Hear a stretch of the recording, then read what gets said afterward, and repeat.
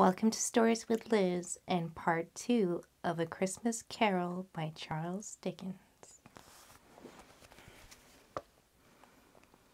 Stave 3 The second of the three spirits.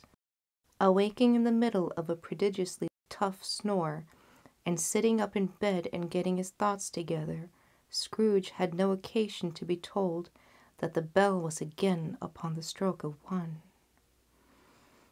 He felt that he was restored to consciousness in the right nick of time for the especial purpose of holding a conference the second messenger dispatched to him through Jacob Marley's intervention.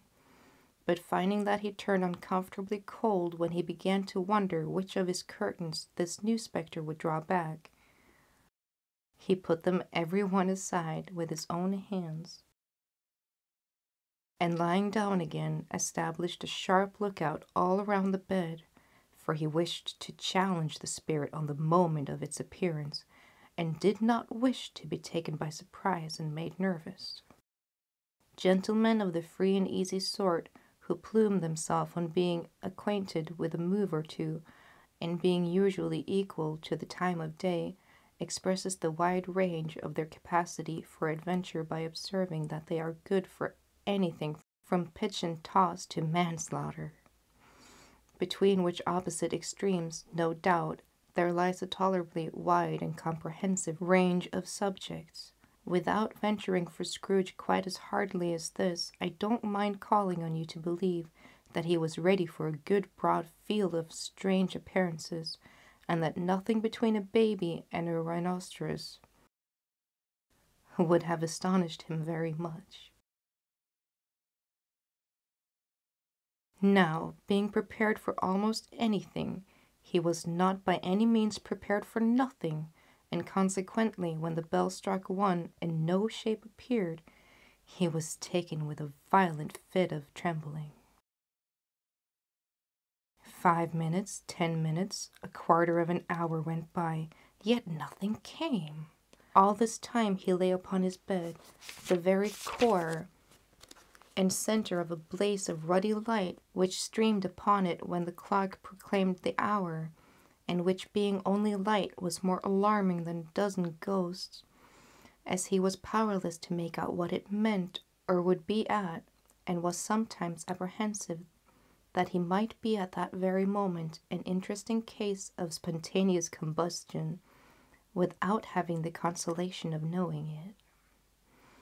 At last, however, he began to think, as you or I have thought at first. For it is always the person not in the predicament who knows what ought to have been done in it, and would unquestionably have done it too.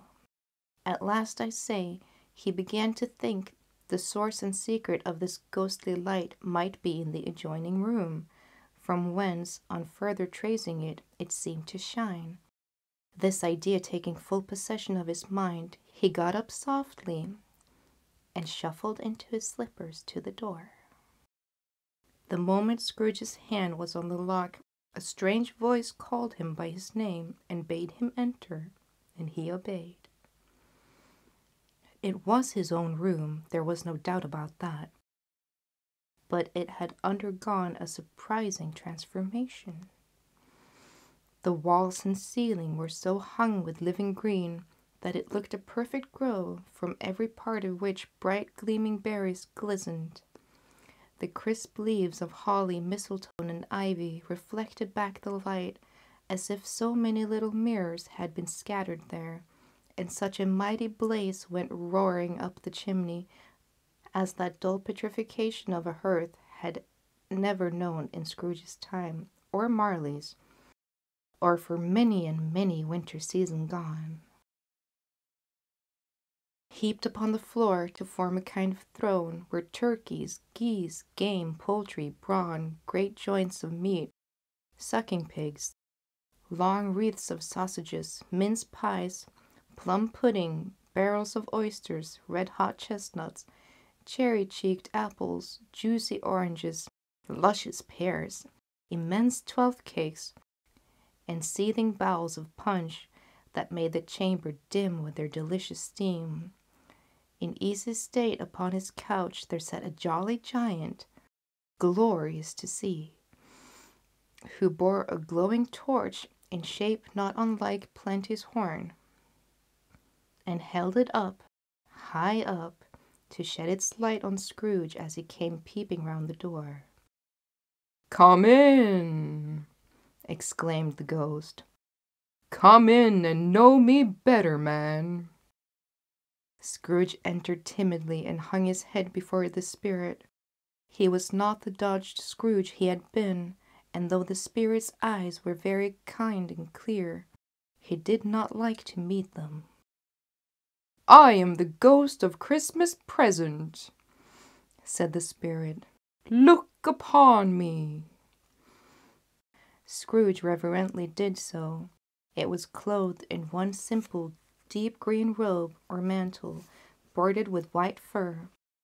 This garment hung so loosely on the figure that its capacious breast was bare, as if disdaining to be warded or concealed by any artifice.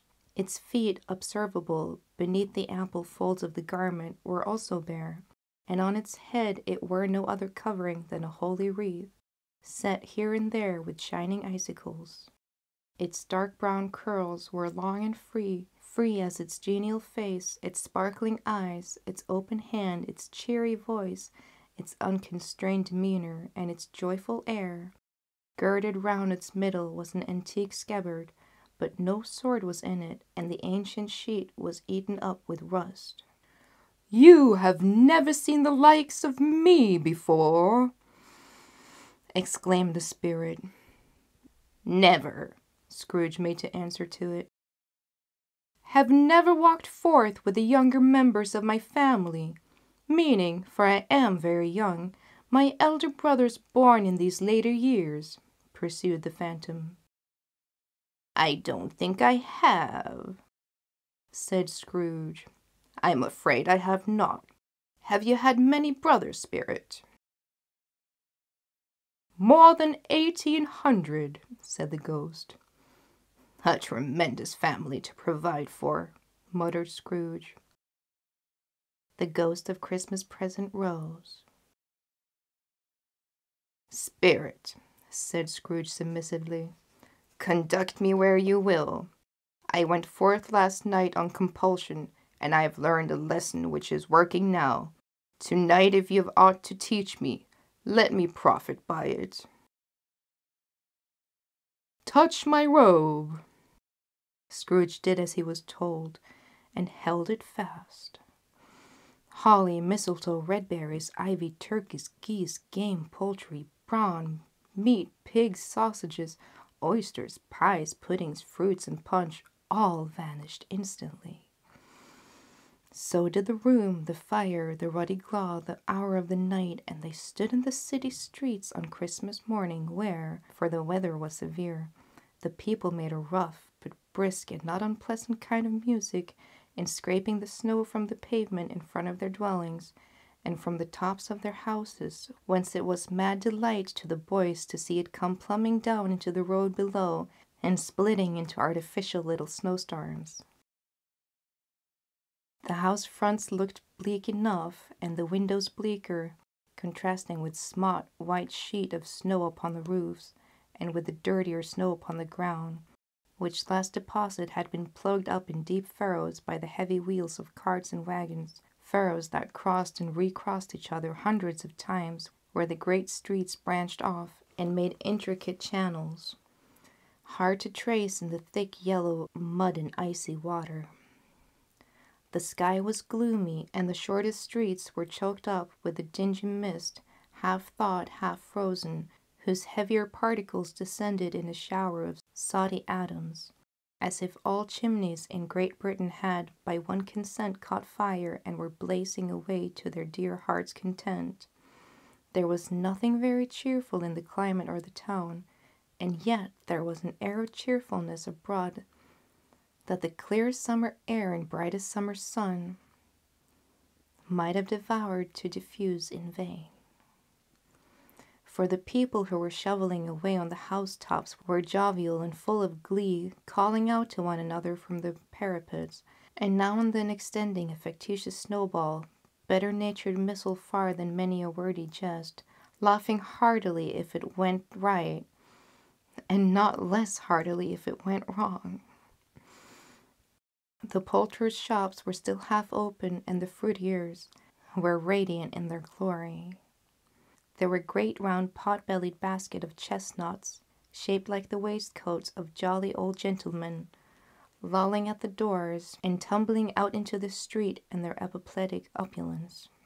There were ruddy brown faced bird girded Spanish onions shining in the fatness of their growth like Spanish fairs, and winking from their shelves in wanton slyness at the girls as they went by, and glanced demurely at the hung up mistletoe. There were pears and apples clustered high in blooming pyramids. There were bunches of grapes made in the shopkeeper's benevolence, dangled from conspicuous hooks that people's mouth may water gratis as they passed. There were piles of filberts, mossy and brown, recalling in their fragrance ancient walks among the woods and pleasant shufflings ankle deep through the withered leaves. There were Norfolk biffins, squabs, and swarty, setting off the yellow of the orange and lemons, and in the great compactness of their juicy persons, urgently entreating and beseeching to be carried home in paper bags and eaten after dinner. The very gold and silver fish set forth among these choice fruits in a bowl though members of dull and stagnant blooded race, appeared to know that there was something going on, and to a fish went gasping round and round their little world in slow and passionless excitement. The grocers, oh, the grocers, nearly closed, with perhaps two shutters down or one, but through those gaps such glimpses.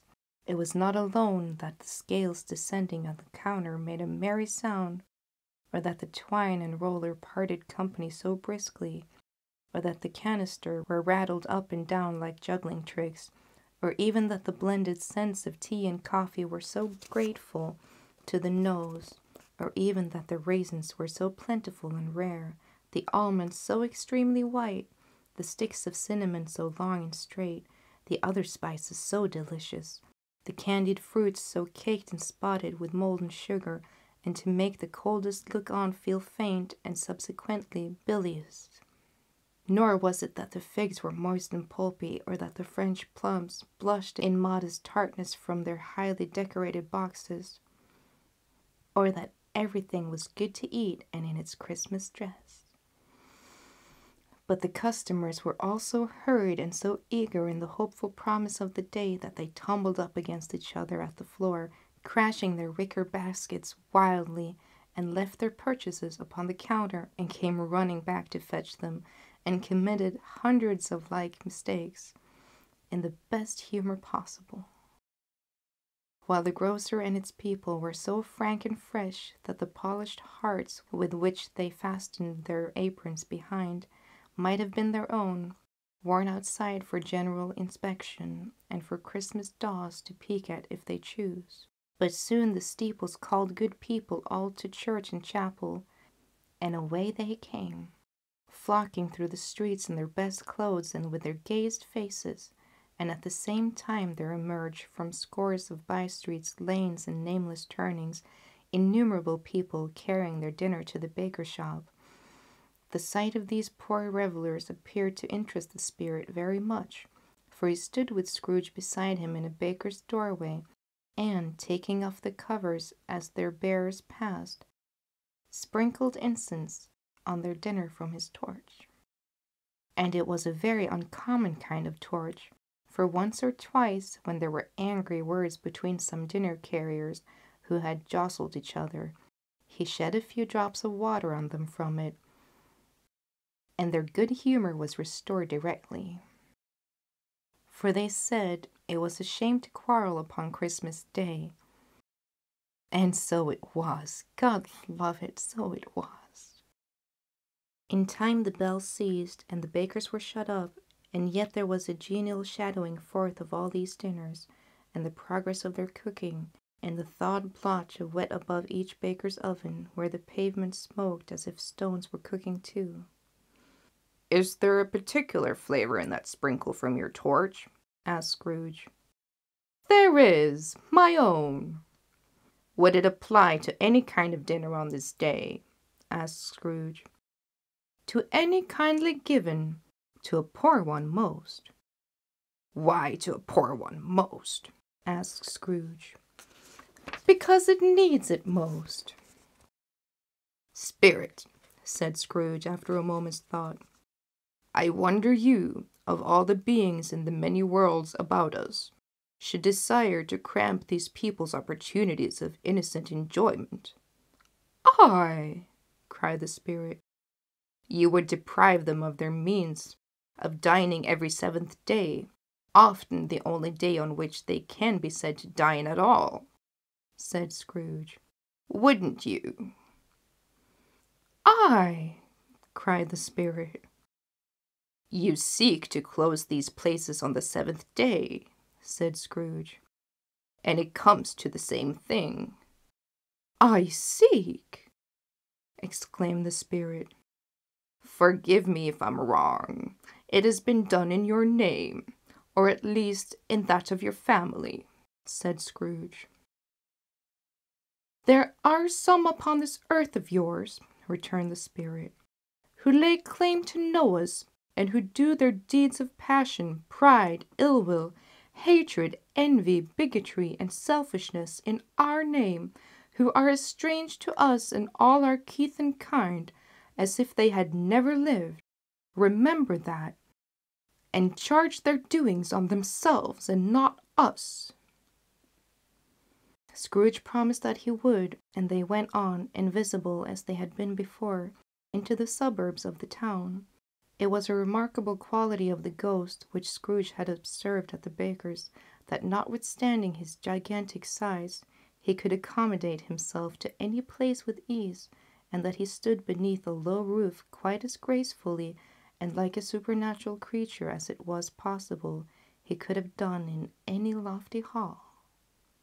And perhaps it was the pleasure the good spirit had in showing off his powers of his, or else it was his own kind, generous, hearty nature, and his sympathy with all poor men, that led him straight to Scrooge's clerks, for there he went, and Scrooge with him, holding to his robe, and on the threshold of the door the spirit smiled and stopped to bless Bob Cratchit's dwelling with the sprinkling of his torch.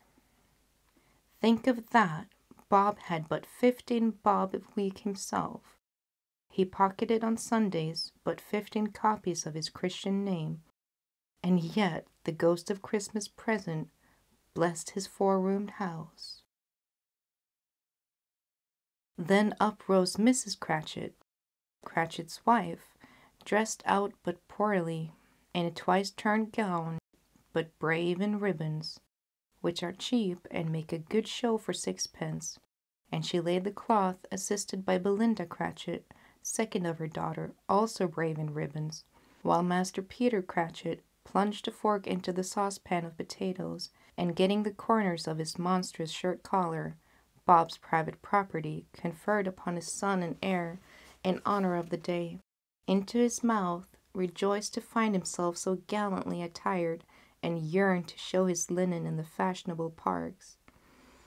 And now two smaller Cratchits, boy and girl, came tearing in, screaming that outside the baker's they had smelt the goose and known it for their own, and basking in luxurious thoughts of sage and onion. These young Cratchits danced about the table and exalted Master Peter Cratchit to the skies, while he, not proud although his collar nearly choked him, blew the fire until the slow potatoes, bubbling up, knocked loudly at the saucepan lid to be let out and peeled. Whatever has got your precious father, then? said Mrs. Cratchit, and your brother, Tiny Tim, and Martha weren't as late as this last Christmas by half an hour. Here's Martha, mother, said a girl, appearing as she spoke. Here's Martha, mother, cried the two young Cratchits. Hurrah! There's such a goose, Martha. Why, bless your heart alive, my dear, how late you are. said Mrs. Cratchit, kissing her a dozen times and taking off her shawl and bonnet for her with officious zeal. We'd a deal of work to finish up last night, replied the girl, and had to clear away this morning, mother. Well, never mind, as long as you've come, said Mrs. Cratchit. Sit ye down before the fire, my dear, and have a warmth, Lord bless ye. No, no, there's father coming. Hide, Martha, hide. So Martha hid herself, and in came little Bob, the father, with at least three feet of comforter, exclusive of the fringe, hanging down before him, and his threadbare clothes darned up and brushed to look seasonable, and Tiny Tim upon his shoulder. Alas, for Tiny Tim, he bore a little crutch and had his limbs supported by an iron frame. Why, where's our Martha? cried Bob Cratchit, looking around. Not coming, said Mrs. Cratchit. Not coming? said Bob, with a sudden declension in his high spirits, for he had been Tim's blood horse all the way from church and had come home rampant. Not coming upon Christmas Day? Martha didn't like to see him disappointed, if only that were in Joe. So she came out prematurely from behind the closet door and ran into his arms, while the two young Cratchits hustled Tiny Tim and bore him off into the wash house, that he might hear the pudding singing in the copper.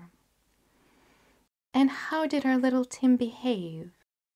asked Mrs. Cratchit, when she had railed Bob on his credulity, and Bob had hugged his daughters to his heart's content. As good as gold, said Bob, and better. Somehow he gets thoughtful sitting by himself so much and thinks the strangest things you've ever heard.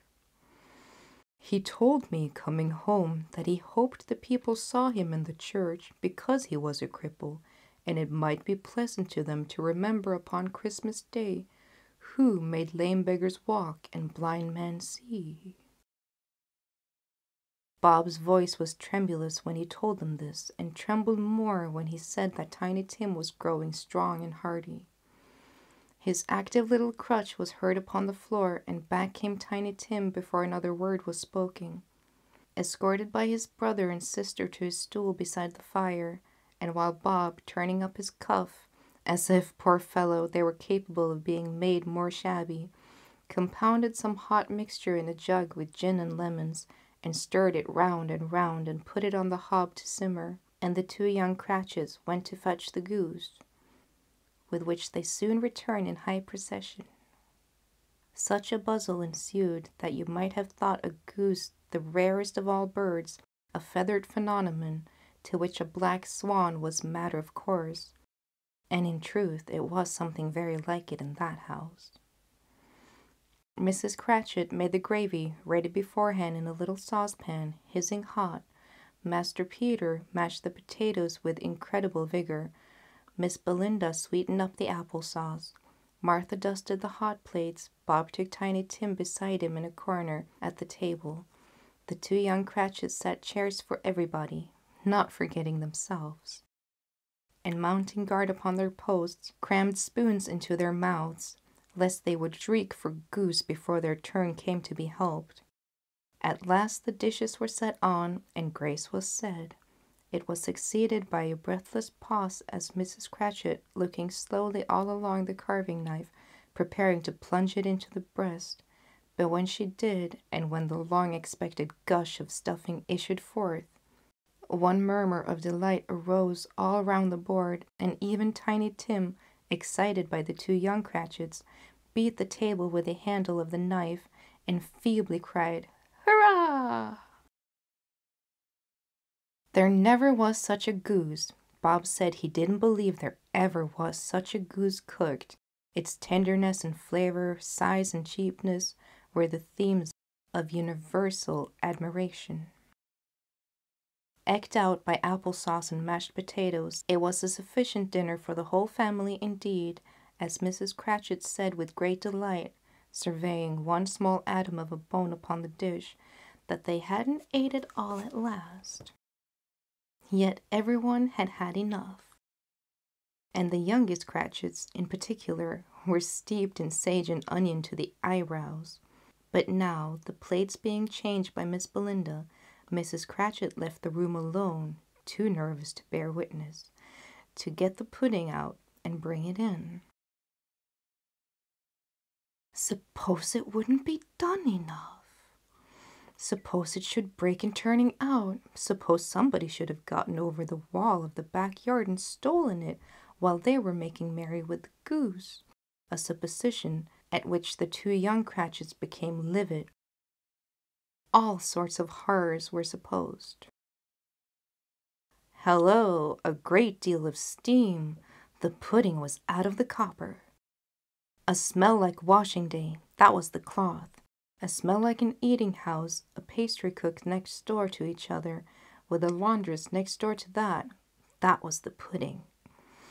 In half a minute, Mrs. Cratchit entered, flushed but smiling proudly, with the pudding like a specked cannonball, so hard and firm, blazing in half of half a quartern of ignited brandy, and bedecked with Christmas holly stuck into the top. Oh, a wonderful pudding, Bob Cratchit said, and calmly too, that he regarded it as the greatest success achieved by Mrs. Cratchit since their marriage. Mrs. Cratchit said that, now that the weight was off her mind, she would confess that she had had her doubts about the quantity of flowers. Everybody had something to say about it, but nobody said or thought that it was a small pudding for such a large family. It would have been flat heresy to do so. Any Cratchit would have blushed to hint at such a thing. At last the dinner was all done. The cloth was cleaned, the hearth swept, and fire made up. The compound and the judge being tasted and considered perfect, apples and oranges were put upon the table, and a shovelful of chestnut on the fire.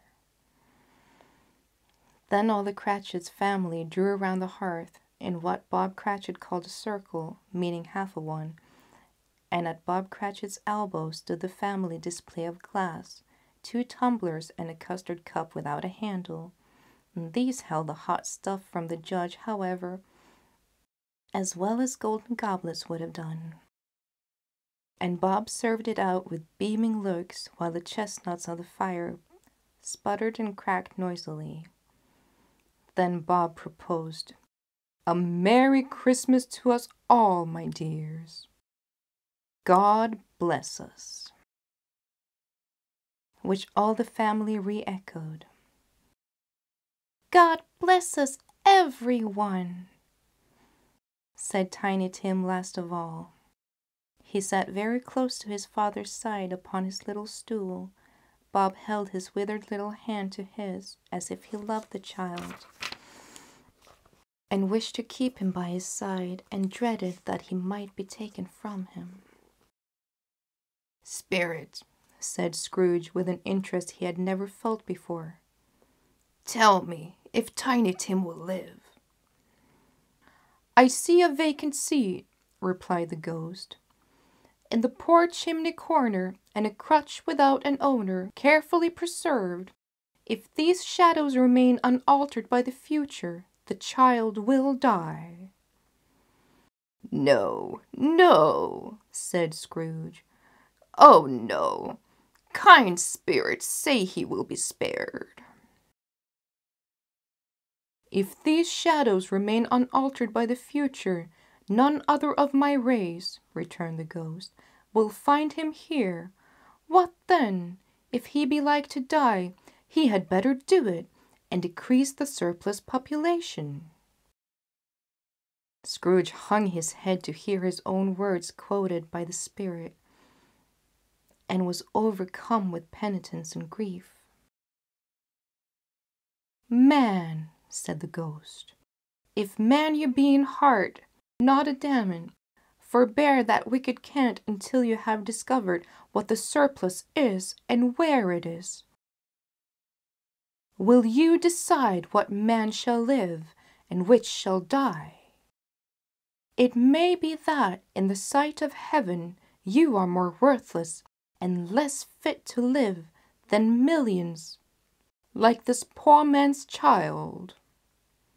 O God, to hear the insect on the leaf pronouncing on the too much life among his hungry brothers in the dust. Scrooge bent before the ghost's rebuke and trembling cast his eye upon the ground, but he raised them speedily on hearing his own name. Mr. Scrooge, said Bob. I'll give you Mr. Scrooge, the founder of the feast. The founder of the feast, indeed, cried Mrs. Cratchit, reddening. I wish I had him here. I'd give him a piece of my mind to feast upon, and I'd hope he had a good appetite for it. My dear, said Bob, the children, Christmas Day. It should be Christmas Day, I'm sure, said she, on which one drinks the health of such an odious, stingy, hard, unfeeling man as Mr. Scrooge. You know he is, Robert. Nobody knows it better than you do, poor fellow. My dear, was Bob's mild answer. Christmas Day. I'll drink his health for your sake and the day's, said Mrs. Cratchit, not for his. Long life to him, a Merry Christmas and a Happy New Year.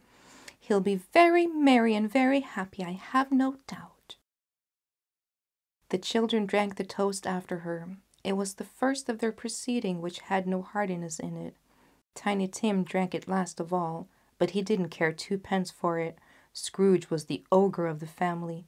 The mention of his name cast a dark shadow on the party, which was not dispelled for full five minutes. After it had passed away, they were ten times merrier than before, for the mere relief of Scrooge the baleful being done with. Bob Cratchit told them how he had a situation in his eye for Master Peter, which would bring in, if obtained, full five and sixpence weekly.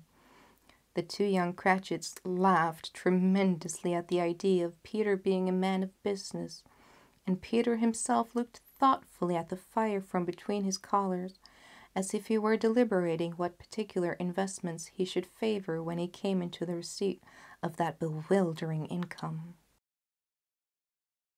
Martha, who was a poor apprentice of a milliner's, then told them of what kind of work she had to do, and how many hours she worked at a stretch, and how she meant to lie abed tomorrow morning for a good long rest, tomorrow being a holiday she passed at home also how she had seen a countess and a lord some days before, and how the lord was much about as tall as Peter, at which Peter pulled up his collar so high that you couldn't have seen his head if you had been there. All this time the chestnuts and the jug went round and round, and by and by they had a song about a lost child traveling in the snow from Tiny Tim, who had a plaintive little voice and sang it very well indeed. There was nothing of high mark in this. They were not a handsome family. They were not well dressed. Their shoes were far from being waterproof. Their clothes were scanty, and Peter might have known, and very likely did, the insight of a pawnbroker's. But they were happy, grateful, pleased with one another, and content with the time, and when they faded and looked happier yet in the bright sprinkles of the spirit's torch at parting, Scrooge had his eye upon them, and especially on Tiny Tim, till the last. By this time it was getting dark and snowing pretty heavily, and as Scrooge and the spirit went along the streets, the brightness of the roaring fires in the kitchens, parlors, and all sorts of rooms were wonderful. Here, the flickering of the blaze showed preparations for a cozy dinner with hot plates baking through and through before the fire and deep red curtains ready to be drawn to shut out the cold and darkness. There, all the children of the house were running out into the snow to meet their married sisters, brothers, cousins, uncles, aunts, and to be the first to greet them. Here, again, were shadows on the window blinds of guests assembling, and there a group of handsome girls, all hooded and fur booted, and all chattering at once, tripped lightly off to some near neighbor's house where woe upon the single man and saw them enter. Artful witches, well they knew it in a glow. But if you had judged from the numbers of people on their way to friendly gatherings, you might have thought that no one was at home to give them welcome when they got there, instead of every house expecting company and piling up its fires half chimney high, blessings on it. How the ghost exalted! How it bared its breadth of breast and opened its capacious palm and floated on, outpouring with a generous hand in its bright and harmless mirth on everything within its reach. The very lamplighter, who ran on before, dotting the dusky street with specks of light, and who was dressed to spend the evening somewhere, laughed out loudly as the spirit passed, though little kenned the lamplighter that he had the company but Christmas.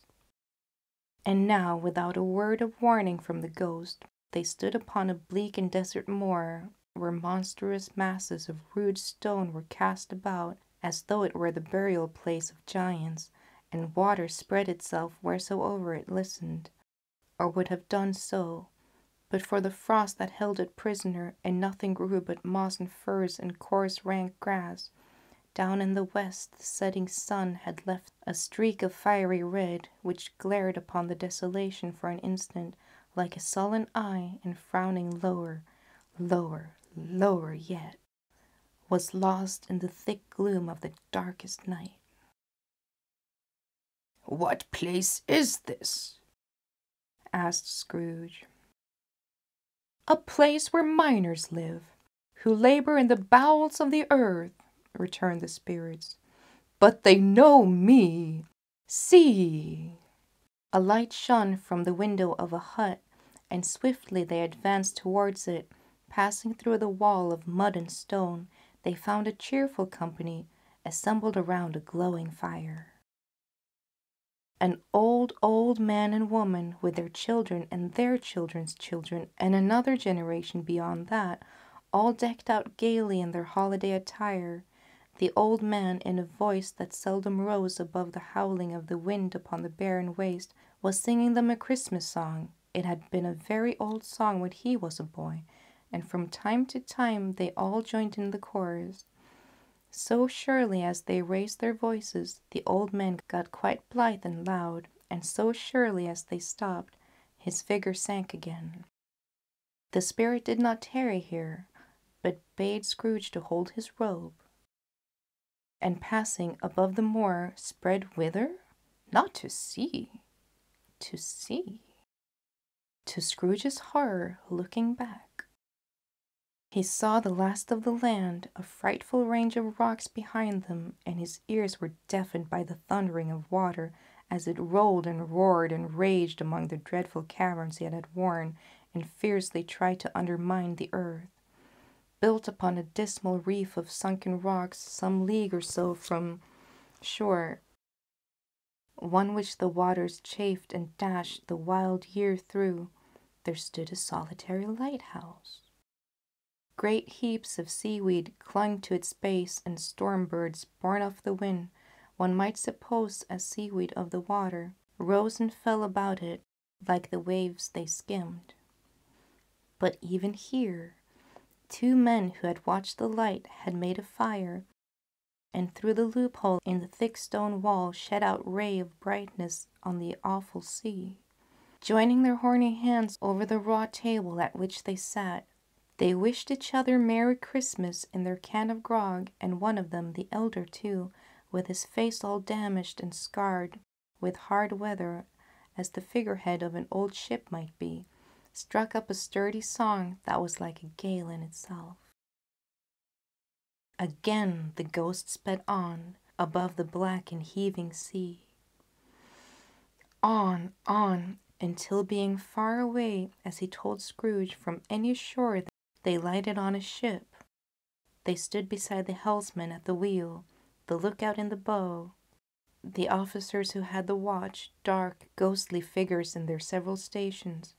But every man among them hummed a Christmas tune, or had a Christmas thought, or spoke below his breath to his companion of some bygone Christmas day, with homeward's hopes belonging to it.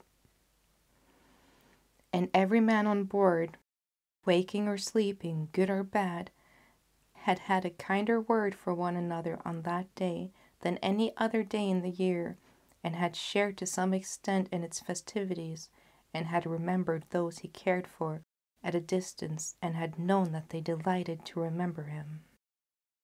It was a great surprise to Scrooge, while listening to the moaning of the wind and thinking what a solemn thing it was to move on through the lonely darkness over an unknown abyss whose depths were secret as profound as death. It was a great surprise to Scrooge, while thus engaged, to hear a hearty laugh. It was a much greater surprise to Scrooge to recognize it as his own nephew, and to find himself in a bright, dry, gleaming room with the spirit standing smiling by his side and looking at the same nephew with approving affability. Ha ha ha ha! laughed Scrooge's nephew. if you should happen by any unlikely chance to know a man more blessed in a laugh than Scrooge's nephew, all I can say is, I should like to know him too. Introduce me to him, and I'll cultivate his acquaintance. It is a fair, even handed, noble adjustment of things that while there is infection and disease and sorrow, there is nothing in the world so irresistibly contagious as laughter and good humor. When Scrooge's nephew laughed in this way, holding his sides, rolling his head, and twisting his face into the most extravagant contortions, Scrooge's niece, by marriage, laughed as heartily as he, and their assembled friends being not a bit behindhand, roared out lustily.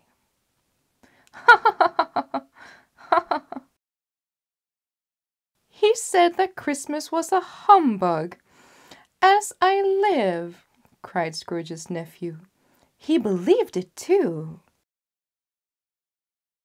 More shame for him, Fred, said Scrooge's niece indignantly. Bless those women, they never do anything by halves. They are always in earnest. She was very pretty, exceedingly pretty, with a dimpled, surprised looking capital face, a ripe little mouth that seemed made to be kissed, as no doubt it was. All kinds of good little dots about her chin that melted into one another when she laughed, and the sunniest pair of eyes you ever saw in any little creature's head. Altogether, she was what you would have called provoking, you know. But satisfactory, too. Oh, perfectly satisfactory. He is a comical old fellow, said Scrooge's nephew. That is the truth. And not so pleasant as he might be. However, his offences carries their own punishment, and I have nothing to say against him. I'm sure he's very rich, Fred, hinted Scrooge's niece. At least, you always tell me so. What of that, my dear? said Scrooge's nephew. His wealth is of no use to him. He don't do anything good with it. He doesn't make himself comfortable with it. He hasn't the satisfaction of thinking ha ha, that he is ever going to benefit us with it. I have no patience with him, observed Scrooge's niece. Scrooge's niece's sister and all the other ladies expressed the same opinion. Oh, I have, said Scrooge's nephew. I am sorry for him. I couldn't be angry with him if I tried. Who suffers by his ill wills? Himself, always. Here he takes it into his head to dislike us, and he won't come and dine with us, What's the consequence? He don't lose much of a dinner. Indeed, I think he loses a very good dinner, interrupted Scrooge's niece. Everybody else said the same, and they must be allowed to have been competent judges because they had just had dinner and with the dessert upon the table were clustered round the fire by lamplight. Well, I'm very glad to hear it, said Scrooge's nephew because I haven't any great faith in these young housekeepers. What do you say, Topper? Topper had clearly got his eye upon one of Scrooge's niece's sisters, for he answered that a bachelor was a wretched outcast who had no right to express an opinion upon the subject. Whereat Scrooge's niece's sister, the plump one with the lace tucker, not the one with the roses, blushed. Go on, Fred, said Scrooge's niece, clapping her hands. He never finishes what he begins to say. He is such a ridiculous fellow. Scrooge's nephew revelled in another laugh, and as it was impossible to keep his infection off, though the plump sister tried hard to do it with aromatic vinegar, his example was unanimously followed. I was only going to say, said Scrooge's nephew, that the consequence of his taking a dislike to us and not making merry with us is, as I think, that he loses some pleasant moments, which could do him no harm. I am sure he loses pleasanter companions than he can find in his own thoughts, either in his mouldy old office or his dusty chambers. I mean to give him the same chance every year, whether he likes it or not, for I pity him. He may rail at Christmas till he dies, but he can't help thinking better of it. I defy him. If he finds me going there in good temper year after year and saying, Uncle Scrooge, how are you? If it only puts him in the vein to leave his poor clerk fifty pounds, that's something. And I think I shook him a little yesterday. It was their turn to laugh now at the notion of his shaking Scrooge, but being thoroughly good natured and not much caring what they laughed at, so that they laughed at any rate, he encouraged them in their merriment and passed the bottle joyously. After tea, they had some music, for they were a musical family, and knew what they were about when they sang a glee or catch. I can assure you, especially Topper, who could growl away in the bass like a good one, and never swell the large vein in his forehead, or get red in the face over it. Scrooge's niece played well upon the harp, and played among other tunes a simple little air, a mere nothing you might learn to whistle in about two minutes, which had been familiar to the child who fetched Scrooge from the boarding school, as he had been reminded by the ghost of Christmas past. When this strain of music sounded, all the things that the ghost had shown him came upon his mind. He softened more and more, and thought that if he could have listened to it often years ago, he might have cultivated the kindness of life for his own happiness with his own hands without resorting to the Saxon spade that buried Jacob Marley. But they didn't devote the whole evening to music. After a while, they played at forfeit. For it is good to be children sometimes, and never better than at Christmas. When its mighty founder was a child himself. Stop! There was a game of blind man's buff. Of course there was. And I no more believe Topper was really blind than I believe he had his eyes in his boots. My opinion is that it was a done thing between him and Scrooge's nephew, and that the ghost of Christmas present knew it. The way he went after that plump sister in the lace tucker was an outrage on the credulity of human nature, knocking down the fire irons, tumbling over the chairs, bumping up against the piano, smothering himself against the curtains. Wherever she went, there went he. He always knew where the plump sister was. He wouldn't catch anybody else if you had fallen up against him, as some of them did on purpose. He would have made a feint of endeavoring to seize you, which would have been an affront to your understanding, and would instantly have sallied off in the direction of the plump sister. She often cried out that it wasn't fair, and it really was not. But when at last he caught her, when, in spite of all her silken rustlings and her rapid fluttering past him, he got her into a corner whence there was no escape, then his conduct was more execrable. For his pretending not to know her, his pretending that it was necessary to touch her headdress, and further to assure himself of her identity by passing a certain ring upon her finger and a certain chain about her neck, was vile and monstrous. No doubt she told him her opinion of it when, another blind man being in office, they were so very confidential together behind the curtains. Scrooge's niece was not one of the blind man's buff party, but was made comfortable with a large chair and footstool in a snug corner where the ghost and Scrooge was close behind her. But she joined in the forfeits and loved her love to admiration and with all the letters of the alphabet.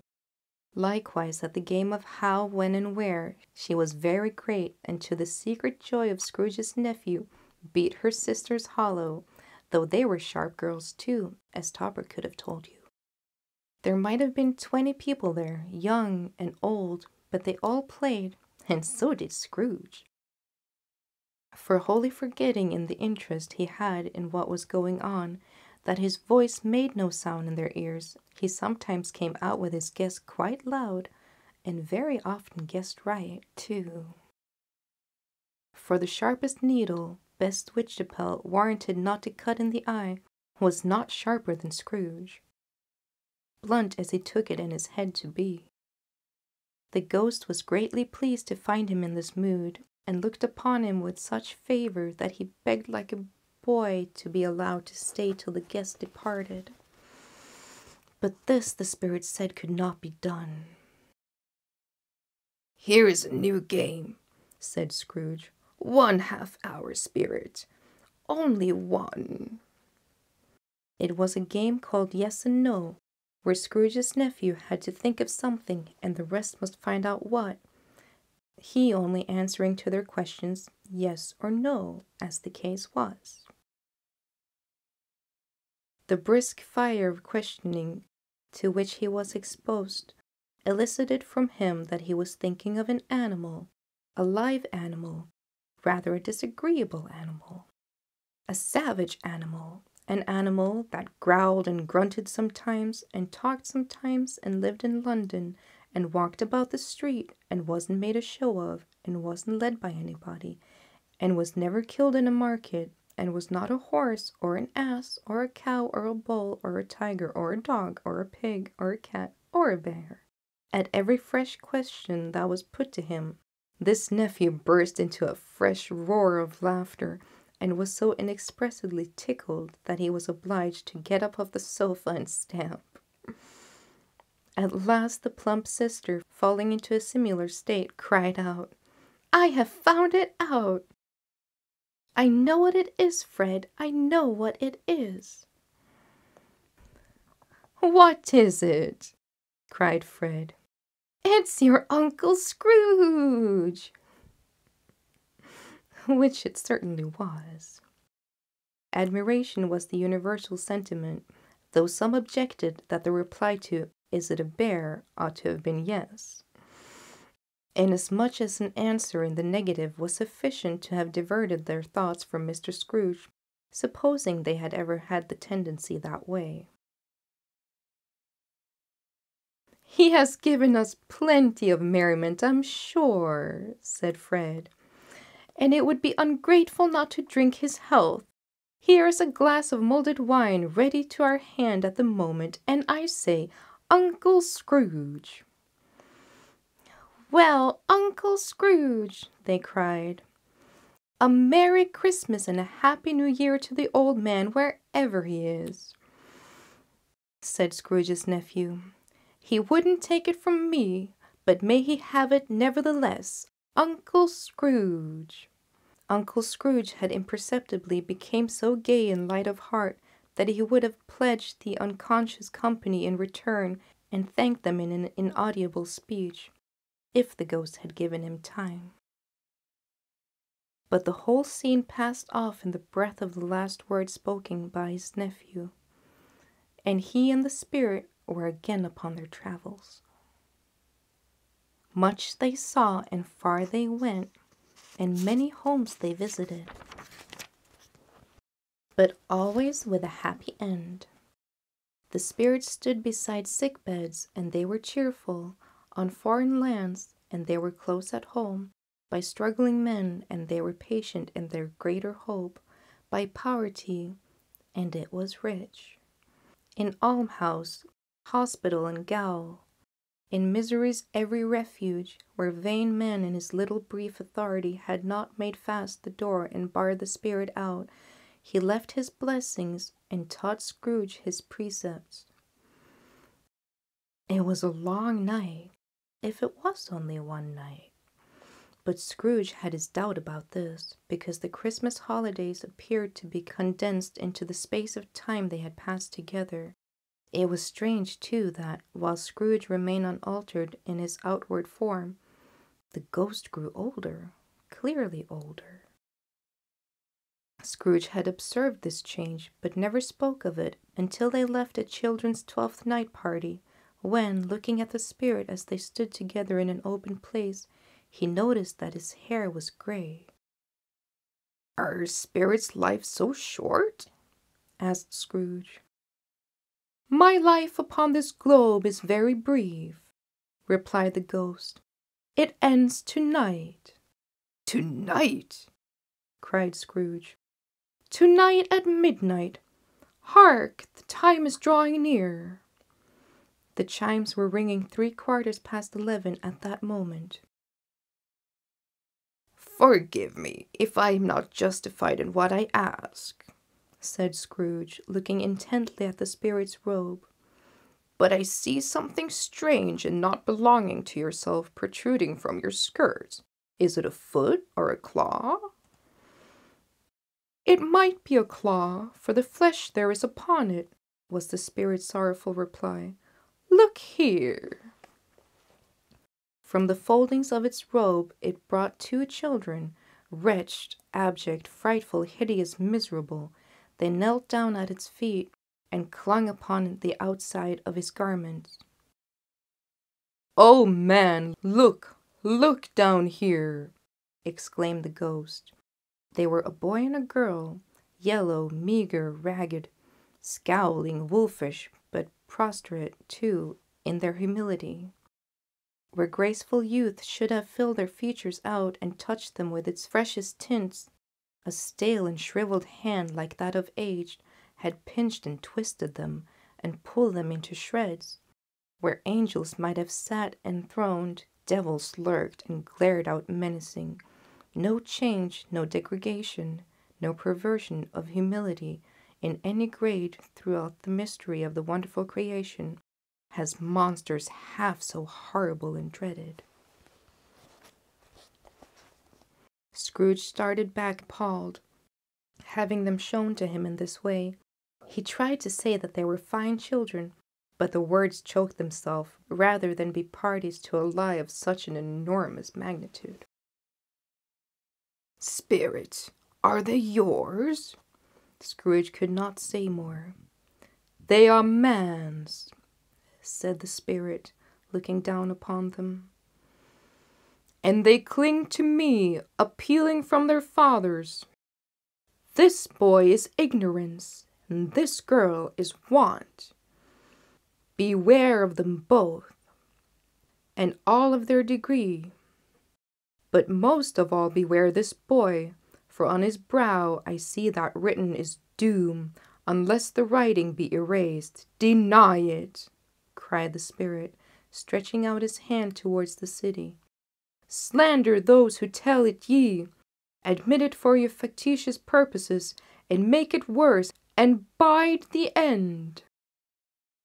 Have they no refuge or resource? cried Scrooge. Are there no prisons? said the spirit, turning on him for the last time with his own words. Are there no workhouses? The bell struck twelve. Scrooge looked about him for the ghost and saw it not. As the last stroke ceased to vibrate, he remembered the predictions of old Jacob Marley, and, lifting up his eyes, he beheld a solemn phantom, draped and hooded, coming like mist along the ground towards him. Stave 4 The Last of the Spirits The phantom slowly, gravely, silently approached.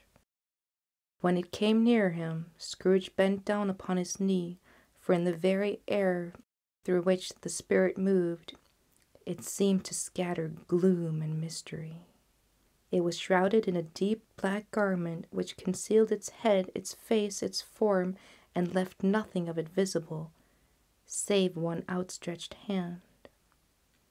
But for this, it would have been difficult to detach its figure from the night and separate it from the darkness by which it was surrounded. He felt that it was tall and stately when it came beside him, and that its mysterious presence filled him with a solemn dread. He knew no more, for the spirit neither spoke nor moved. I am in the presence of the ghost of Christmas yet to come, said Scrooge. The spirit answered not, but pointed onward with his hand. You are about to show me shadows of the things that have not happened, but will happen in the time before us, Scrooge pursued. Is that so, spirit? The upper portion of the garment was concealed for an instant in its folds, as if the spirit had inclined its head. That was the only answer he received. Although well used to ghostly company by this time, Scrooge feared the silent shape so much that his legs trembled beneath him, and he found that he could hardly stand when he prepared to follow it. The spirit paused a moment as observing his condition and giving him time to recover. But Scrooge was all the worse for this. It thrilled him with a vague, uncertain horror to know that behind the dusky shroud there were ghostly eyes intently fixed upon him, while he, though he stretched his own to the utmost, could see nothing but a spectral hand and one great heap of black. Ghost of the future, he exclaimed, I fear you more than any spectre I have seen. But as I know your purpose is to do me good, and as I hope to live to be another man from what I was, I am prepared to bear your company, and do it with a thankful heart. Will you not speak to me? It gave him no reply. The hand was pointed straight before them. Lead on, said Scrooge. Lead on. The night is waning fast. And it is precious time to me. I know, I know. Lead on, spirit. The phantom moved away as it had come towards him. Scrooge followed in the shadow of its dress, which bore him up, he thought, and carried him along. They scarcely seemed to enter the city, for the city rather seemed to spring up about them and encompass them in its own act. But there they were in the heart of it, on change amongst the merchants who hurried up and down and clinked the money in their pockets and conversed in groups and looked at their watches and trifled thoughtfully with their great gold seals and so forth, as Scrooge had seen them so often. The spirit stopped beside a little knot of businessmen. Observing that the hand was pointed to them, Scrooge advanced to listen to their talk. No, said a great fat man with a monstrous chin. I don't know much about it either way. I only know he's dead. When did he die? inquired another. Last night, I believe.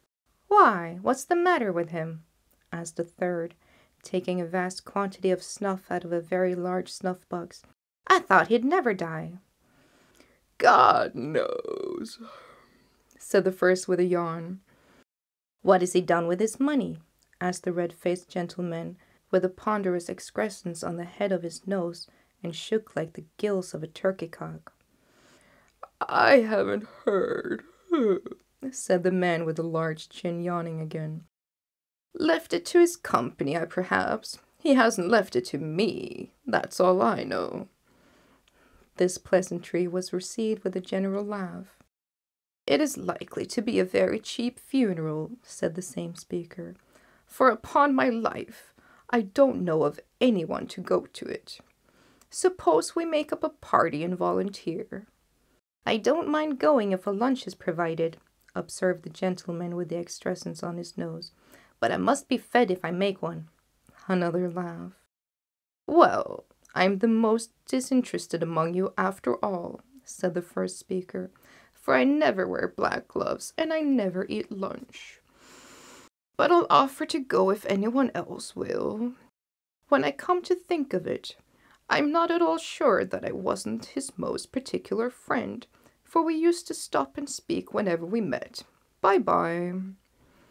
Speakers and listeners strolled away and mixed with other groups. Scrooge knew the men and looked towards the spirit for an explanation. The phantom glided on into the street. Its finger pointed to two persons meeting. Scrooge listened again, thinking that the explanation might lie here. He knew these men also perfectly. They were men of business, very wealthy, and of great importance. He had made a point always of standing well in their esteem. In a business point of view, that is. Strictly in a business point of view. How are you? said one. How are you? returned the other. Well, said the first. Old Scratch has got his own at last, eh? So I'm told, returned the second. Cold, isn't it? Seasonable for Christmas time. You are not a skater, I suppose. No, no. Something else to think of. Good morning. Not another word. That was their meeting, their conversation, and their parting. Scrooge was at first inclined to be surprised that the spirit should attach importance to conversation apparently so trivial, but feeling assured that they must have some hidden purpose, he set himself to consider what it was likely to be. They could scarcely be supposed to have had any bearings on the death of Jacob, his old partner, for that was past, and this ghost province was the future. Nor could he think of anyone immediately connected with himself to whom he could apply them.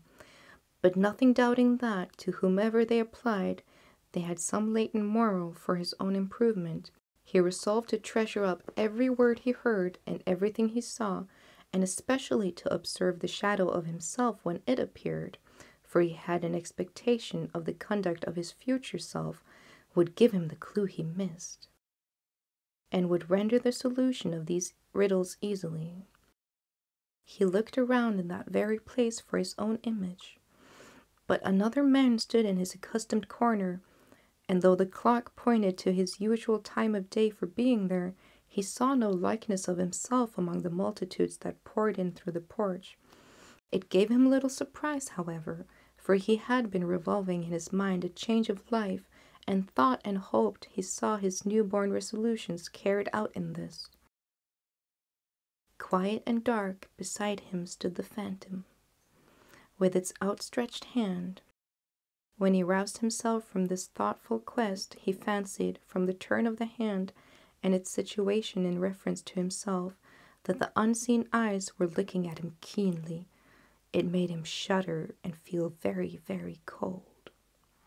They left the busy scene and went into an obscure part of the town where Scrooge had never penetrated before, although he recognized its situation and its bad repute. The ways were foul and narrow, the shops and houses wretched, the people half naked, drunken, slipshod, ugly. Alleys and archways, like so many cesspools, disgorged their offences of smell and dirt and life upon the struggling street, and the whole quarter reeked with crime, with filth and misery. Far in this den of infamous resort, there was a low, broad beetling shop, below a penthouse roof where iron, old rags, bottles, bones, and greasy offal were bought. Upon the floor within were piled up heaps of rusty keys, nails, chains, hinges, files, scales, weights, and refuse iron of all kind. Secrets that few would like to scrutinize were bred and hidden in mountains of unseemly rags, masses of corrupted fat, and spulchers of bones sitting among the wars he dealt in, by a charcoal stove made of old bricks, was a gray haired rascal, nearly seventy years of age, who had screened himself from the cold air by a frosy curtaining of miscellaneous tatters hung up on a line, and smoked his pipe in all the luxury of calm retirement. Scrooge and the Phantom came into the presence of this man, just as a woman with a heavy bundle slunk into the shop, but she had scarcely entered when another woman, similarly laden, came in too, and she was closely followed by a man in faded black, who was no less startled by the sight of them than they had been upon the recognition of each other. After a short period of blank astonishment, in which the old man with the pipe had joined them, they all three burst into a laugh. Let the charwoman alone to be the first, cried she who had entered first. Let the laundress alone to be the second, and let the undertaker's man alone to be the third. Look here, old Joe. Here's a chance if we haven't all three met here without meaning it.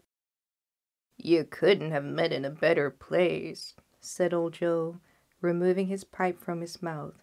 Come into the parlor.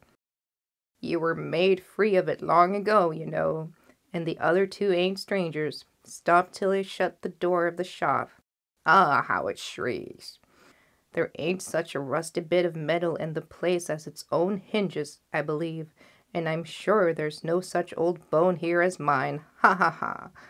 We're all suitable to our calling. We're well matched. Come into the parlor. Come into the parlor. The parlor was the space behind the screen of rags. The old man raked the fire together with an old stair rod, and having trimmed his smoky lamp, for it was night, with the stem of his pipe put it into his mouth again. While he did this, the woman who had already spoken threw her bundle on the floor and sat down in a flaunting manner on a stool, crossing her elbows on her knees, and looking with a bold deference at the two others. What odds, then? What odds, Mrs. Dilber? said the woman. Every person has a right to take care of themselves. He always did. That is true indeed, said the laundress. No man more so. Why, then, don't stand staring as if you were afraid, woman. Who's the wiser? We're not going to pick holes in each other's coats, I suppose? No, indeed, said Mrs. Dilber and the man together. We should hope not. Very well, then, she cried. That's enough. Who's the worst for the loss of a few things like these? Not a dead man, I suppose. No, indeed, said Mrs. Dilber, laughing. If he wanted to keep him after he was dead, a wicked old screw, pursued the woman. Why wasn't he natural in his lifetime? If he had been, he'd have had somebody to look after him when he was struck with death, instead of lying gasping out his last there, alone by himself. It's the truest words that ever was spoke, said Mrs. Dilber. It's a judgment on him. I wish it was a little heavier judgment, replied the woman, and it should have been, you may depend on it, if I could have laid my hands on anything else. Open the bundle, old Joe, and let me know the value of it. Speak out plain. I am not afraid to be the first, nor afraid for them to see it. We knew pretty well that we were helping ourselves before we met here, I believe. It's no sin. Open the bundle, Joe. But the gallantry of her friends would not allow of this, and the man in the faded black, mounting at the breach first, produced his plunder. It was not extensive. A seal or two, a pencil case, a pair of sleeve buttons, and a brooch of no great value were all. They were severely examined and appraised by old Joe, who chalked the sums he was disposed to give for each upon the wall, and added them up into a total when he found that there was nothing more to come. That is your count, said Joe, and I wouldn't give another sixpence if I was to be boiled for not doing it. Who's next? Mrs. Dilber was next. Sheets and towels, a little wearing apparel, two old fashioned silver teaspoons, a pair of sugar tongs, and a few boots. Her accounts was stated on the wall in the same manner. I always give too much to ladies. It's a weakness of mine. And that's the way I ruin myself, said old Joe. That's your account. If you asked me for another penny and made it an open question, I'd repent of being so liberal and knock off half a crown. And now under my bundle, Joe, said the first woman. Joe went down on his knees for the greater convenience of opening it, and having unfastened a great many knots, dragged out a large heavy roll of some dark stuff. What do you call this? said Joe. Bed curtains? Ah! returned the woman, laughing and leaning forward on her crossed arms. Bed curtains! You don't mean to say you took 'em down, rings and all, with him lying there? said Joe. Yes, I do, replied the woman. Why not? You were born to make your fortune, said Joe, and you'll certainly do it. I certainly shan't hold my hand when I can get anything in it by reaching it out, for the sake of such a man as he was, I promise you, Joe, returned the woman coolly. Drop that oil upon the blankets now. His blankets? asked Joe. Whose else do you think? replied the woman. He isn't likely to take cold without them, I dare say. I hope he didn't die of anything catching, eh? said old Joe, stopping in his work and looking up. Don't you be afraid of that, returned the woman. I ain't so fond of his company that I'd loiter about him for such things if he did. Ah, you may look through that shirt till your eyes ache, but you won't find a hole in it, nor a threadbare place. It is the best he had, and a fine one too. They'd have wasted it if it wasn't for me. And what do you call wasting of it? asked Joe. Putting him in it to be buried in, to be sure, replied the woman with a laugh. Somebody was fool enough to do it, but I took it off again. If calico ain't good enough for such a purpose, it isn't good enough for anything. It's quite as becoming to the body. He can't look uglier than he did in that one. Scrooge listened to this dialogue in horror. As they sat grouped about their spoil in the scanty light afforded by the old man's lamp, he viewed them with a detestation and disgust which could hardly have been greater, though they had been obscene demons marketing the corpse itself. Ha ha ha laughed the woman, when old Joe, producing a flannel bag with money in it, told out their several gains upon the ground. This is the end of it, you see. He frightened everyone away from him when he was alive to profit us when he's dead. Ha ha ha ha! Spirit, said Scrooge, shuddering from head to foot. I see, I see. The case of this unhappy man might have been my own. My life tends that way now, merciful heaven.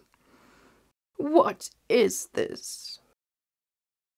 He recoiled in terror, for the scene had changed, and now he almost touched a bed, a bare, uncurtained bed on which, beneath a ragged sheet, there lay something covered up, which, though it was dumb, announced itself in awful language.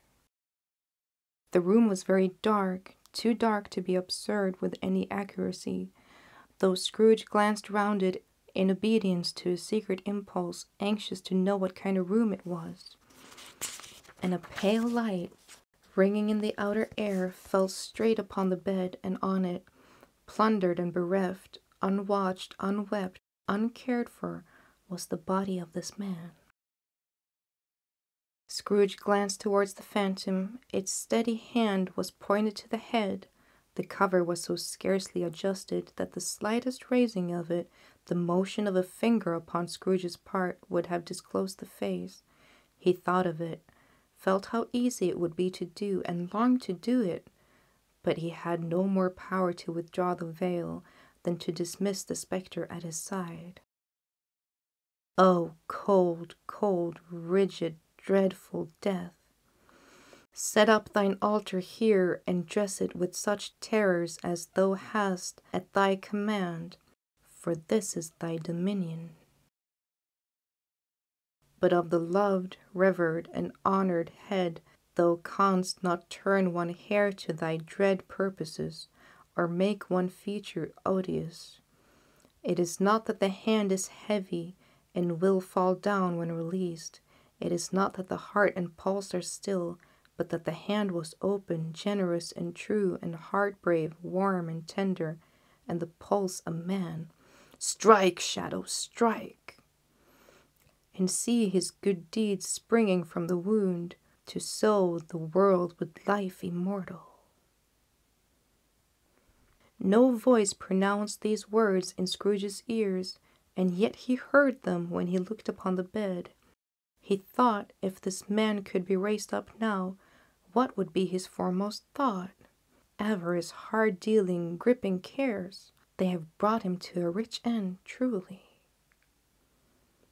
He lay in the dark, empty house with not a man, a woman, or a child to say that he was kind to me in this or that, and for the memory of one kind word I will be kind to him.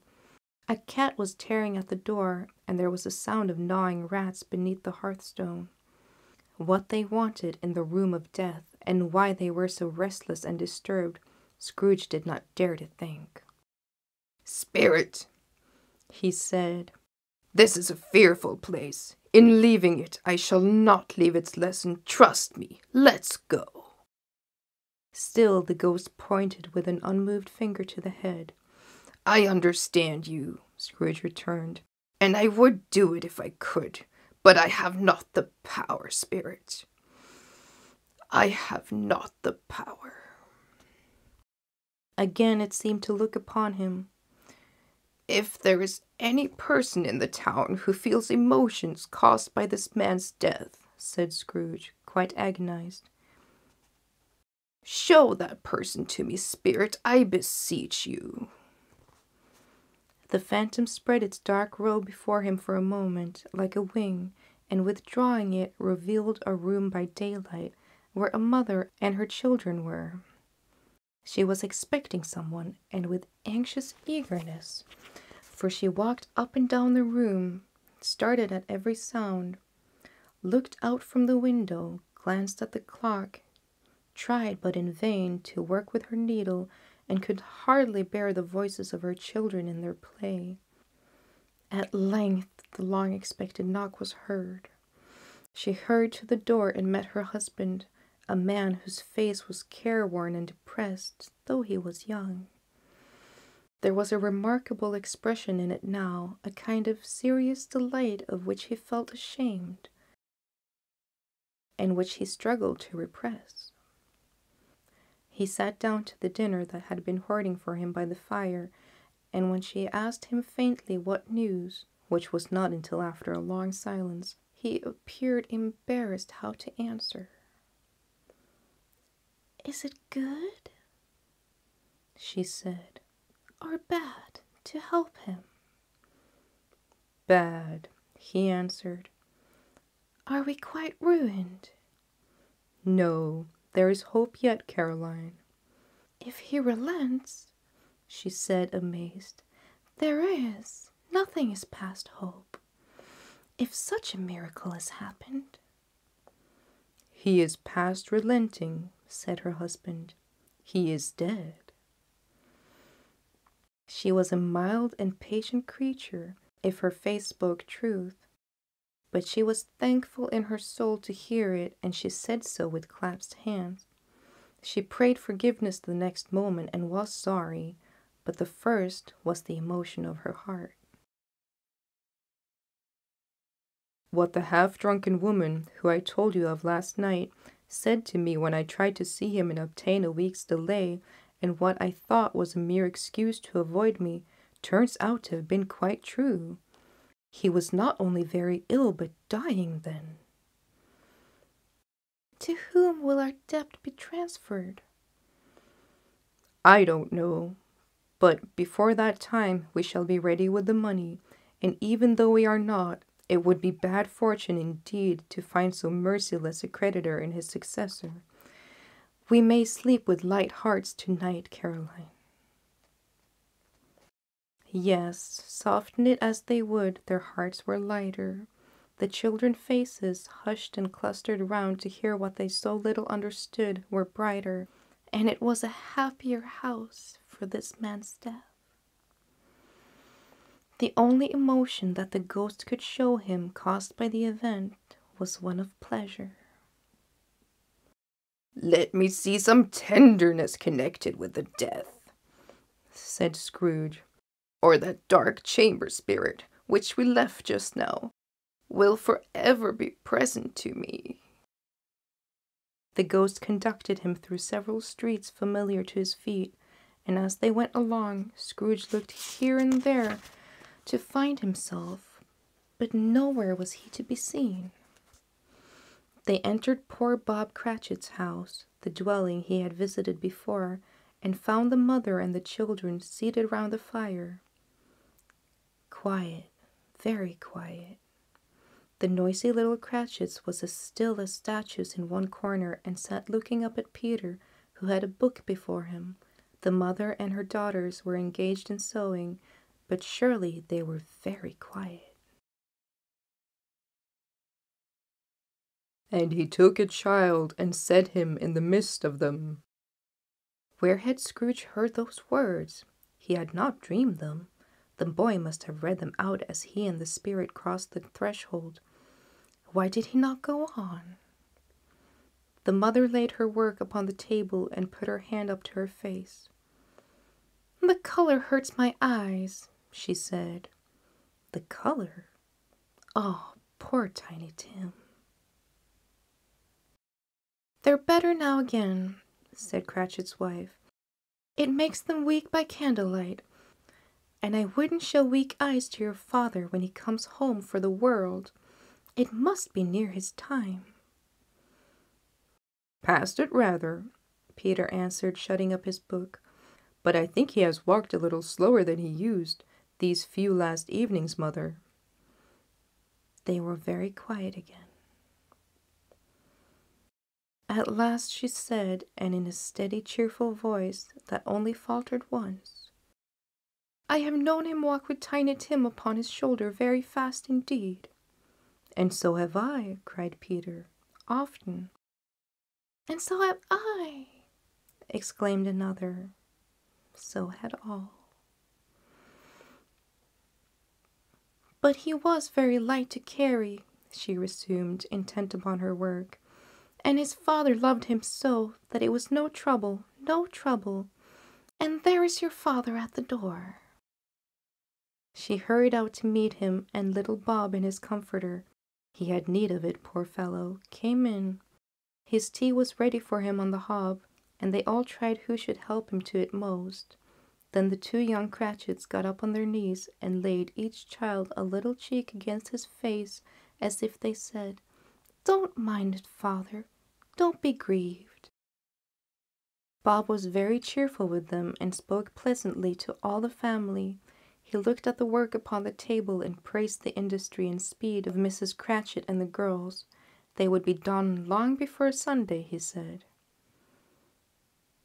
Sunday? You went today then, Robert? said the wife. Yes, my dear, returned Bob. I wish you could have gone. It would have done you good to see how green a place it is. But you'll see it often. I promised him that I would walk there on a Sunday. My little child, cried Bob. My little child. He broke down all at once. He couldn't help it. If he could have helped it, he and his child would have been further apart, perhaps, than they were. He left the room and went upstairs into the room above, which was lighted carefully and hung with Christmas.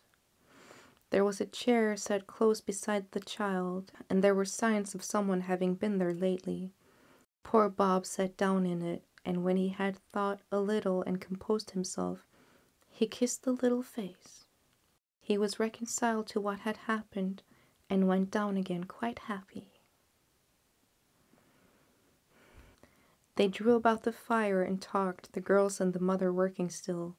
Bob told them of the extraordinary kindness of Mr. Scrooge's nephew, whom he had scarcely seen but once, and who, meeting him in the streets that day, and seeing that he looked a little, just a little down, you know, said Bob, inquired what had happened to distress him, on which, said Bob, for he is the pleasantest spoken gentleman you ever heard, I told him.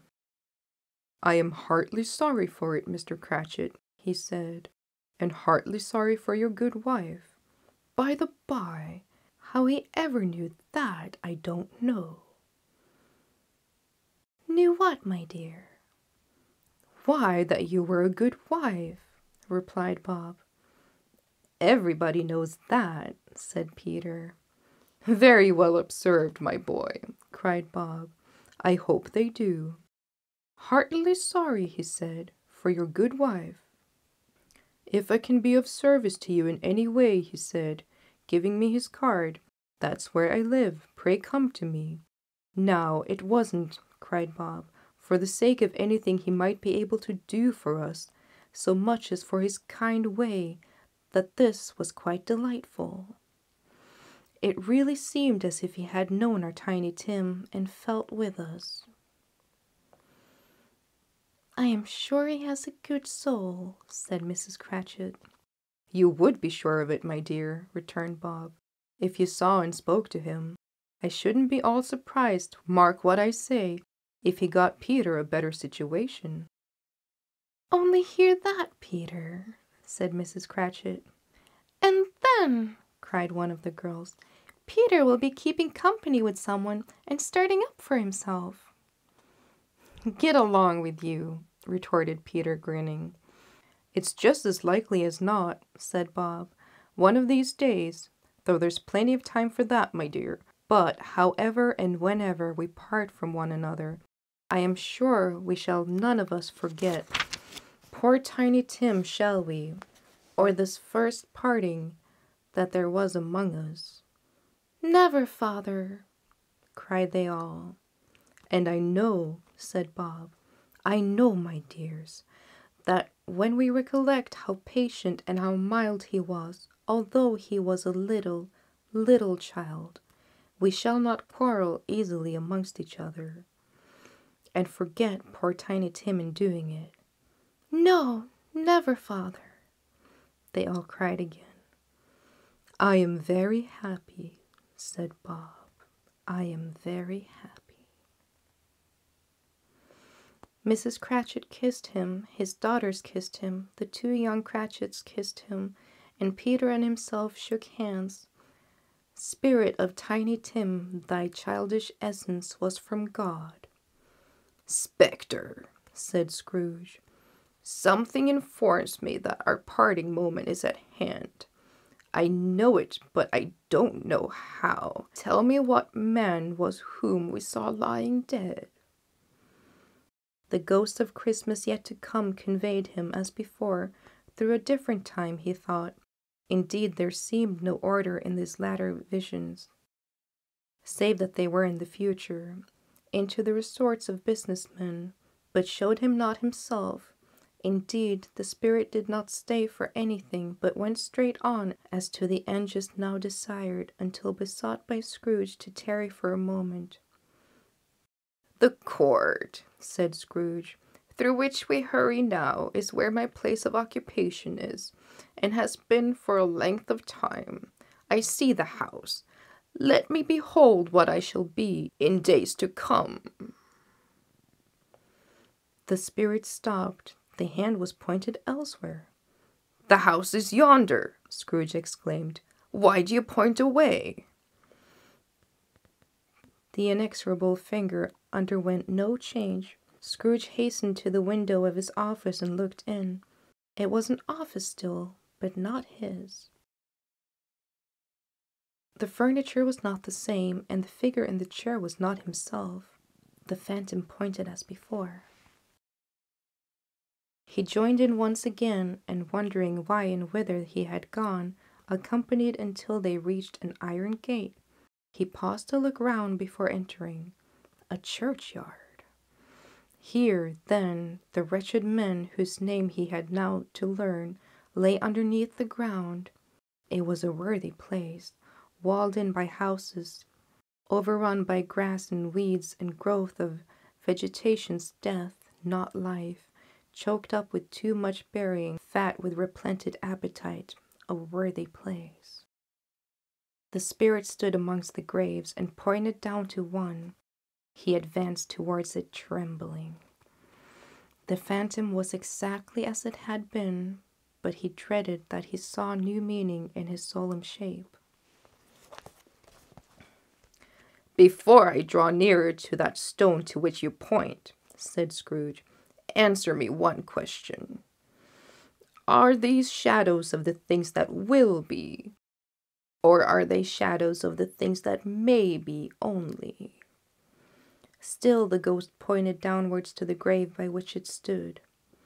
Man's curses will foreshadow certain ends to which, if preserved in, they must lead, said Scrooge. But if the courses be departed from, the end will change. Say it is thus with what you show me. The spirit was immovable as ever. Scrooge crept towards it, trembling as he went, and following the finger read upon the stone of the neglected grave his own name, Ebenezer Scrooge. Am I the man who laid upon the bed? he cried upon his knees. The finger pointed from the grave to him and back again. No, spirit. Oh, no, no. The finger still was there. Spirit, he cried, tight clutching at its robe, hear me. I am not the man I was. I will not be the man I must have been for this intercourse. Why show me this if I am past all hope? For the first time the hand appeared to shake.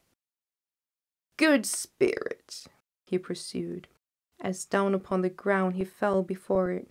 Your nature intercedes for me and pities me. Assure me that I yet may change these shadows you have shown me by an altered life. The kind hand trembled. I will honor Christmas in my heart and try to keep it all the year. I will live in the past and the present and the future. The spirits of all three shall strive within me.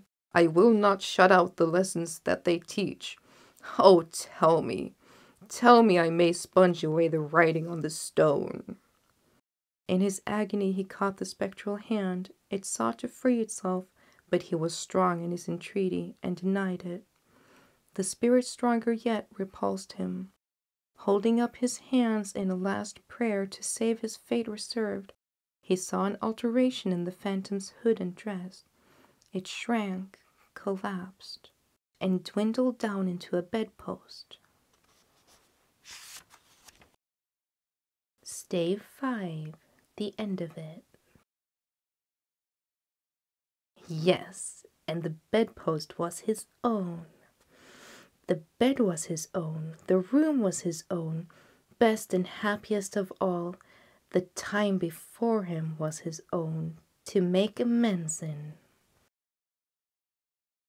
I will live in the past, the present, and the future, Scrooge repeated as he scrambled out of bed. The spirits of all three shall strive within me. Oh, Jacob Marley, heaven and the Christmas time be praised for this. I say it on my knees, old Jacob, on my knees. He was so fluttered and so glowing with his good intentions that his broken voice could scarcely answer to his call. He had been sobbing violently in his conflict with the spirit, and his face was wet with tears. They are not torn down, cried Scrooge, folding one of his bed curtains in his arms. They are not torn down, rings and all. They are here. I am here. The shadow of the things that would have been may be dispelled. They will be. I know they will be. His hands were busy with the garments all this time, turning them inside out, putting them on upside down, tearing them, mislaying them, making them parties to every kind of extravagance. I don't know what to do, cried Scrooge, laughing and crying in the same breath, and making a perfect Laocoön of himself with his stockings. I am as light as a feather. I am as happy as an angel. I am as merry as a schoolboy. I am as giddy as a drunken man. A Merry Christmas to everybody. A Happy New Year to all the world. Hello there! Whoop! Hello! He had frisked into the sitting room and was now standing there perfectly winded. There's the saucepan that the gruel was in, cried Scrooge, starting off again and going round the fireplace. There's the door by which the ghost of Jacob Marley entered. There's the corner where the ghost of Christmas present sat. There's the window where I saw the wandering spirits. It's all right. It's all true. It all happened. really, for a man who had been out of practice for so many years, it was a splendid laugh, a most illustrious laugh the father of long, long line of brilliant laughs. I don't know what day of month it is, said Scrooge. I don't know how long I have been among the spirits. I don't know anything. I am quite the baby. Never mind, I don't care. I'd rather be a baby. Hello, up, hello there. He was checked in his transports by the churches ringing out the lustiest peals he had ever heard clash, clash, hammer, ding, dong, bell, bell, dong, ding, hammer, clash, clash. Oh, glorious, glorious! Running to the window, he opened it and put out his head. No fog, no mist, clear, bright, jovial, staring, cold, cold, piping for the blood to dance to Golden sunlight, heavenly sky, sweet fresh air, merry bells, oh glorious, glorious. What's today? Cried Scrooge, calling downwards to a boy in Sunday clothes who perhaps had loitered in to look about him. Eh? returned the boy with all its might of wonder. What's today, my fine fellow? said Scrooge. Today? replied the boy. Why, it's Christmas Day. It's Christmas Day, said Scrooge to himself. I haven't missed it. The spirits done it all in one night. They can do anything they like. Of course they can. Of course they can. Hello, my fine fellow. Hello, returned the boy. Do you know the poulterers in the next street but one? At the corner? Scrooge inquired. I should hope I did, replied the lad. An intelligent boy, said Scrooge. A remarkable boy. Do you know whether they've sold the prize turkey that was hanging up there? Not the little prize turkey, the big one. What? The one as big as me, returned the boy. What a delightful boy, said Scrooge. It's a pleasure to talk to him. Yes, my buck. It's hanging there now, replied the boy. It is, said Scrooge. Go and buy it. Walker, exclaimed the boy. No, no, said Scrooge. I am in earnest. Go and buy it and tell him to bring it here, that I may give them the directions where to take it. Come back with the man, and I'll give you a shilling. Come back with him in less than five minutes, and I'll give you half a crown. The boy was off like a shot. He must have had a steady hand at a trigger who could have got a shot off half as fast. I'll send it to Bob Cratchit's, whispered Scrooge, rubbing his hands and splitting with a laugh. He shan't know who sent it. It's twice the size of Tiny Tim, Joe Miller never made such a joke as sending it to Bob's will be. The hand in which he wrote the address was not a steady one. But write it he did somehow and went downstairs to open the street door, ready for the coming of the poulterer's man. As he stood there, waiting his arrival, the knocker caught his eye. I shall love it as long as I live, cried Scrooge, patting it with his hand. I scarcely ever looked at it before. What an honest expression it has in its face. It's a wonderful knocker. Here's the turkey. Hello, whoop. How are you? Merry Christmas. It was a turkey. He never could have stood upon his legs, that bird. He would have snapped him short off in a minute like sticks of sealing wax. Why, it's impossible to carry that to Camden Town, said Scrooge. You must have a cab. The chuckle with which he said this, and the chuckle with which he paid for the turkey, and the chuckle with which he paid for the cab, and the chuckle with which he recompensed the boy were only to be exceeded by the chuckle with which he sat down breathless in his chair again, and chuckled till he cried. Shaving was not an easy task, for his hand continued to shake very much, and shaving requires attention even when you don't dance while you're at it. But if he had cut off the end of his nose, he would have put a piece of sticking plaster over it and been quite satisfied. He dressed himself all in his best and at last got out into the streets. The people were by this time pouring forth as he had seen them with the ghost of Christmas present, and, walking with his hands behind him, Scrooge regarded everyone with a delighted smile he looked so irresistibly pleasant in a word that three four good humored fellows said, Good morning, sir, and a Merry Christmas to you.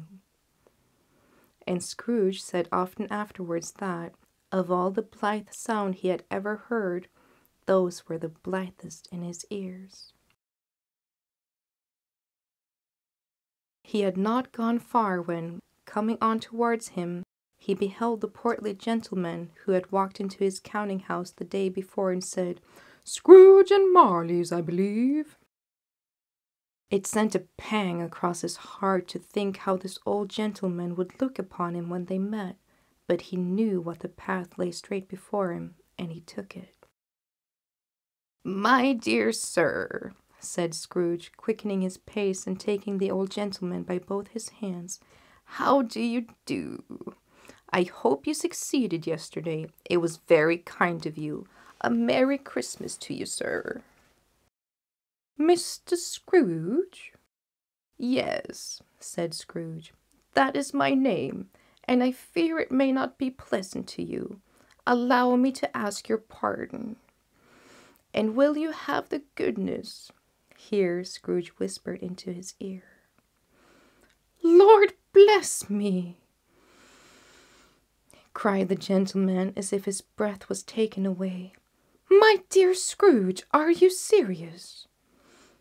If you please, said Scrooge, not a farthing less. A great many back payments are included in it, I assure you. Will you do me that favor? My dear sir, said the other, shaking hands with him, I don't know what to say to such many. Don't say anything, please, retorted Scrooge. Come and see me. Will you come and see me?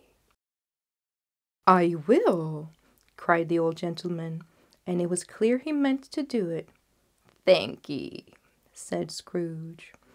I am much obliged to you. I thank you fifty times. Bless you.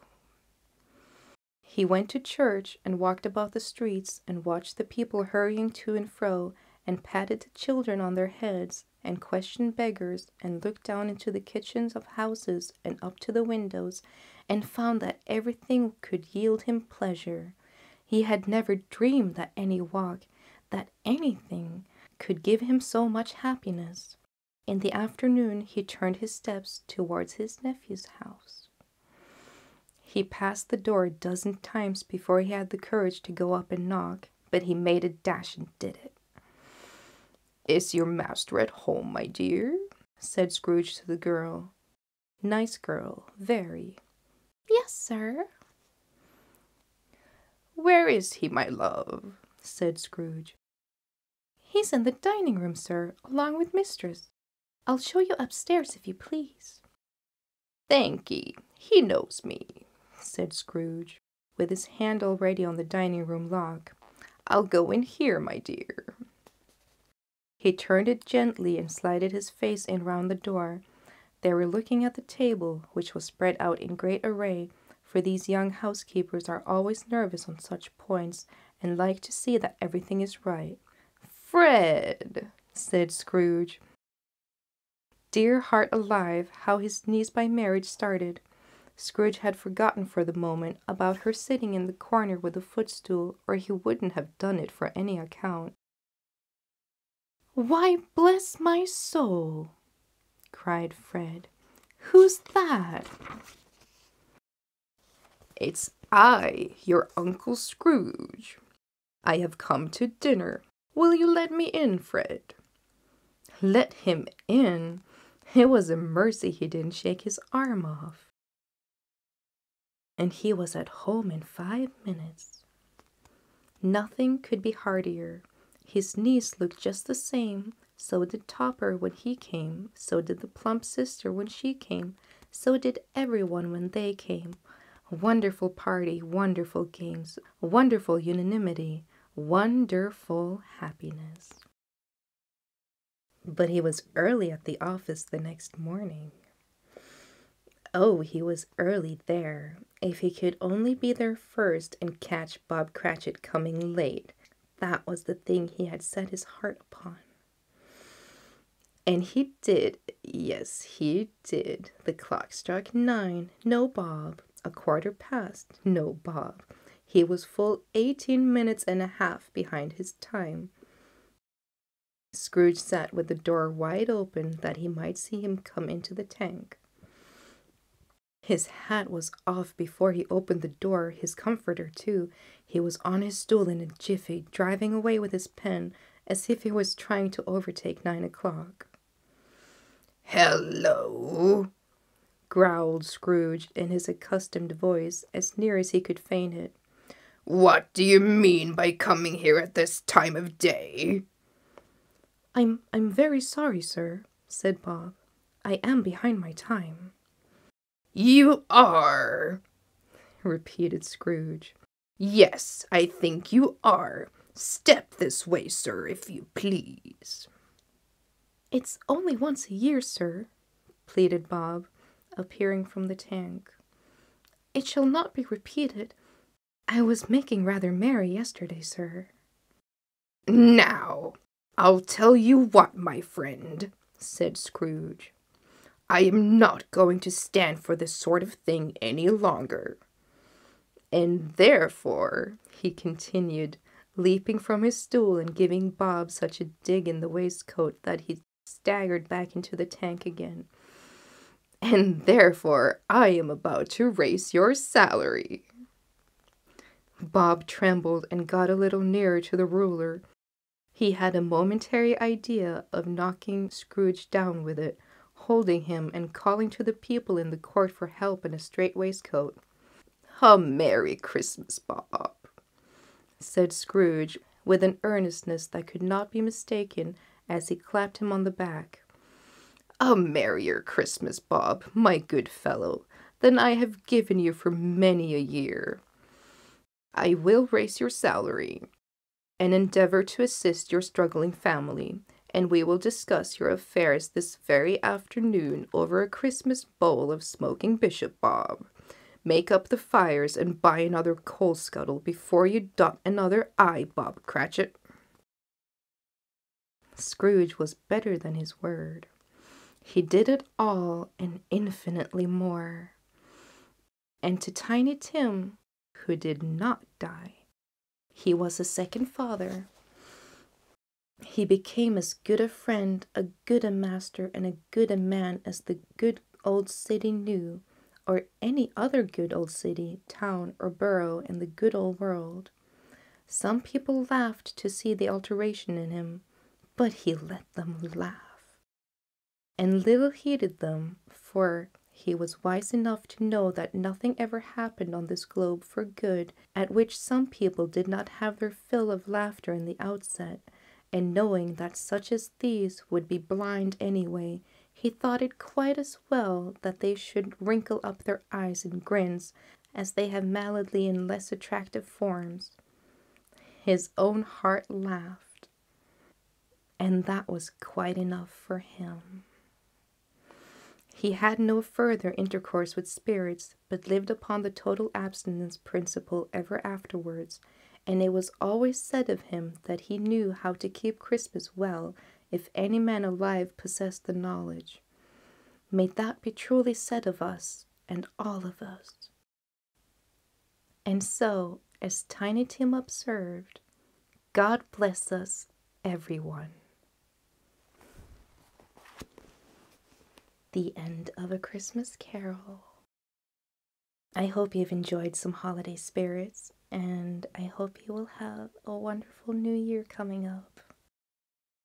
Hope to see you then for some more adventures next year. Thanks for following me so far, for those who have.